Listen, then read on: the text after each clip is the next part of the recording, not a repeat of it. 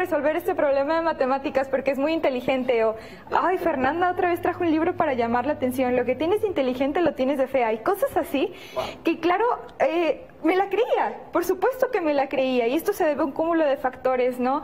Eh, que fueron eh, poco a poco disminuyendo esta seguridad, esta confianza que tenía en mí misma y que entonces fui arrastrando hasta que en la pandemia estuve solas conmigo misma y todos estos y muchos otros factores, muchos otros sucesos eh, que, que, viví, pues me pegaron y, fue como mi punto de quiebre. Y que probablemente uno de esos compañeros que te decían tal vez así los estaban tratando a ellos, ¿no? Exactamente, hay que entender que los agresores son víctimas. Rechazarte. ¿Qué hay detrás de estos agresores? Sabemos que estos agresores son víctimas, sabemos que están normalizando o replicando la violencia, sabemos que tienen este coraje, esta eh, ahora sí que hay algo que tienen que externar. Eh, eh, sí, y sucede algo muy chistoso, porque de repente tú puedes ver que los niños, niñas y adolescentes están muy enojados en ocasiones, sobre todo en México, de que el papá violente a mamá, pero a la hora de que les toca ser adultos, son igual o, o, peor.